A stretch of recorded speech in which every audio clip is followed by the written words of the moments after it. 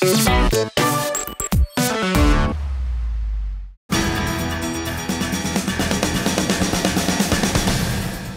le Premier ministre, bonjour. Bonjour. Pour commencer, merci de nous accorder cette interview exclusive.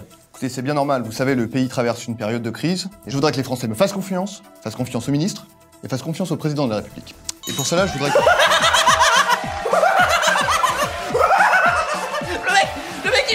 La vie de ma mère on dirait qu'il va l'entretien d'embauche Non mais je rigole, je, je l'adore, c'est mon chéri, je l'adore, regarde comme il veut Allez bien ce qui... Eh, alors Manu, on va être sérieux deux secondes. J'ai lu sur le blog de Jean-Marc Morandini, à ce qui paraît, il y en a un qui peut pas saquer dans la villa.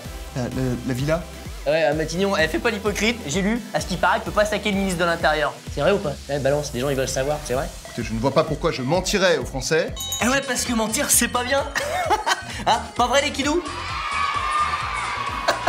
Bien sûr. Bon, écoutez, je pense qu'on s'éloigne du débat. Je- Voilà.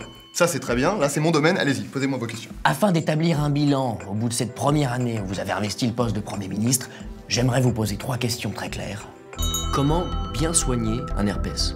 Est-ce qu'on peut s'attendre à un joli classico cette année? Ma question préférée, comment dépenser cette monnaie? En tout cas, j'ai beaucoup de mal à me faire comprendre des Français. Sia Rigo Chris Travail D'accord, bon, cette mascarade a trop duré, moi j'en ai marre. En plus, maintenant vous êtes un cheval, ça n'a aucun sens. Et si les Français veulent s'informer, vaut mieux pas qu'ils regardent la télévision. Tout de suite, les ch'tis. Bienvenue au Fight Club. Une mission? Encore une?